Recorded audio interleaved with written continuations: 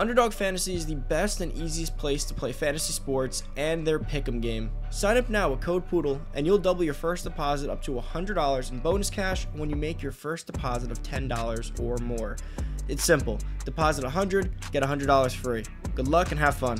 Hey, what's going on everybody? It's Poodle back with another Madden 24 franchise video, and today we're going to be going over the top 5 QBs to be building in franchise. So the way this works is, I do plan on making a best quarterbacks video, and although that might sound self-explanatory, sometimes the best rated players are not the best player to use based on releases, based on key uh, stats, athletics as well. So for this video though, it's about building. So these are the quarterbacks you're going to start at a pretty low overall slash my usual threshold going forward on these types of videos are probably like 83, 84 and below. Um, 82 is still a buildable point that still requires 17-ish XP points to get up. So that, that's, that's building for me. But uh, before we get into the video, guys, make sure you give this video a big thumbs up. Make sure to subscribe. Make sure to comment down below your favorite quarterback to be building in Madden 24 franchise. And make sure to check out Underdog. The link will be down below in the description. Use code POODLE to match your first deposit up to $100. Let's get into it. I do want to start with an honorable mention, which is going to be Will Levis. Now, keep in mind, like I'll say in the next part, his age. He's 24, I believe, to start this year. That is old by rookie standards to build. He's one year away from being 25, which pretty much means his, his you know his XP bar starts going higher and higher. Again, the intangibles, his 80 speed and his 94 throw power. That means that he'll end up about an 82 speed, 83 speed with almost a 97 throw power. He's going to be a Mahomes type build. Depends on what release they give him. He'll be great, but you have to capitalize in season one. He must win Rookie of the Year. You, are going to probably have to push for best QB. If you were to get MVP, best QB, Rookie of the Year, and Offensive Player of the Year, you're going to get him into the 80s probably in one season. Superstar dev suddenly you're cooking. He's a quarterback to build. If you don't get him out of that 60s, 70s area in year one, after 25, you're really going to be behind the eight ball, so you really got to capitalize in year one.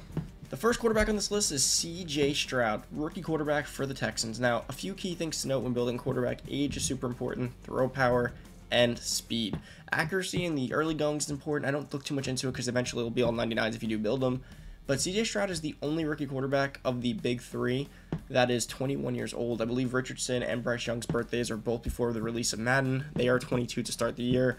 Stroud will be 21. That gives him a big, big boost. Uh, in terms of keeping him on this list in general, that that's a, that's a huge boost to me. 21 means you're going to get another year of his prime building years. Um, I, I, think that's really important. 82 speed is a bit on the lower side, and honestly, usually I'd have no problem with that, which is why he's at 5. But in Madden 24, it's the return of the mobile quarterback. Mobile quarterbacks are super, super uh, useful again. They can run, although keep in mind they did mention that injuries will be returning for quarterbacks. That really wasn't the thing last year. But 82 speed is will get the job done. That means that if you're doing a rollout, you can cut it up field if you see the lane. That means if the pocket collapses as a lane up the middle, you can take it. It means you, you, you can use your legs, but you don't you, you won't be running around ends. You won't be running crazy. You won't be breaking long runs. The other thing is he only has an 89 throw power. Again, if that was higher, I would have really loved this build.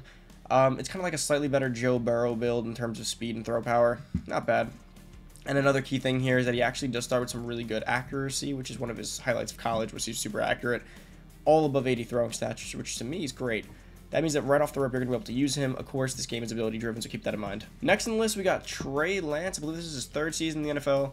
He has not played too much. Now, one thing to note with Trey Lance is that this is going to be probably his final year on this list for me, primarily because he's now 23. Next year he'll be 24, so this is the last chance to really build Trey Lance. 71 overall is pretty low. The only thing is with a quarterback, starting lower is not horrible, only because it's a quarterback. They're going to get the majority of your stats. If you could score and you play, eventually a quarterback's going to get built.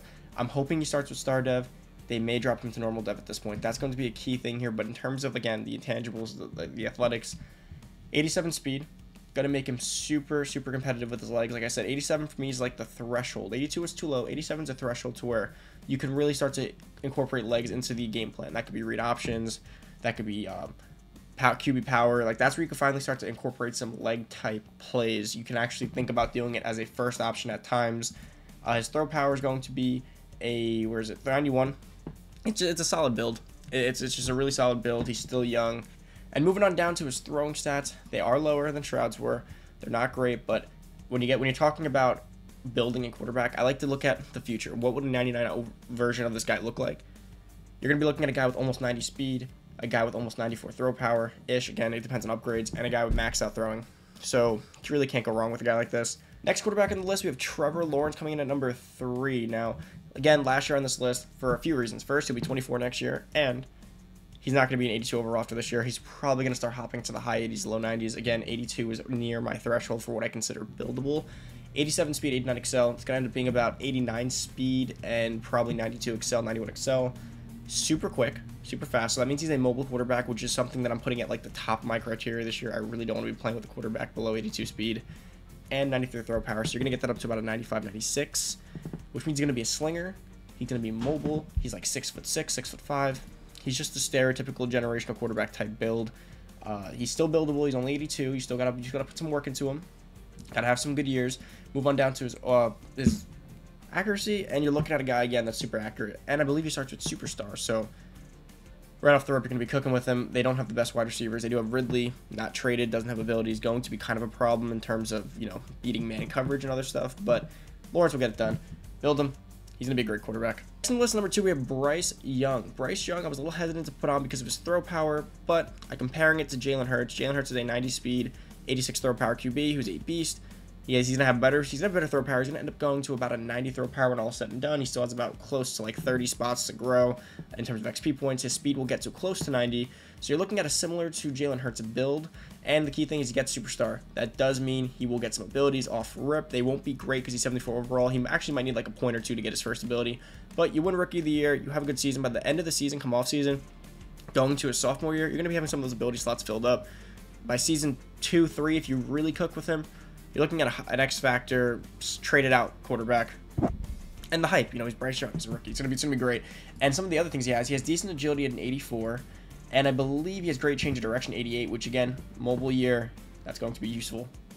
That's going to be able to, you know, run outside the pocket, stop, cut in. A lot of those cool little moves that you can do with a quarterback uh, when scrambling against a user defender. So it's going to be above 90 COD. And I really, really just love the accuracy he starts off with. 87 short, 83 mid, 81 deep. Personally, for uh, Bryce Young, you're probably going to want to get that short and mid up just because his throw power is at the highest. You're probably not going to be looking to go 80 yard bombs all the time. There's thresholds in this game, so I'm probably upgrading his short and on his first two or three upgrades, get that to 90, hit that threshold, and then I'll start working on the rest of his game after that, throw on the run, etc. But he's super well rounded. You really can't go wrong any way you build him. The number one overall quarterback in Madden 24 to build is Anthony Richardson. That's clear cut. I don't think you could debate that. One thing to note though, his accuracy is not going to be the best. So season one and season two, remember, he's 22. 22 to 24 is like the prime kickoff, kickstart their career building years. You've got to cook in those years. His accuracy, he's going to miss a lot of throws. You're probably going to have to force feed the pass game. Like, you throw a few picks, go for it. Like, you know, picks do play into dev trait and awards, so don't go crazy, but you're gonna have to let it. You're gonna have to let it fly. I would avoid running with Taylor. Taylor's pretty built already. Don't don't worry about that. You're gonna want to pretty much tank it out and build this guy. You don't want to fall into the trap of only using him as a mobile quarterback his first two years. And remember, mobile like quarterback rushing stats don't play the biggest part into dev trait upgrades. It's really the passing yards, being top four in passing. Rushing can help, but you still have to be a passer.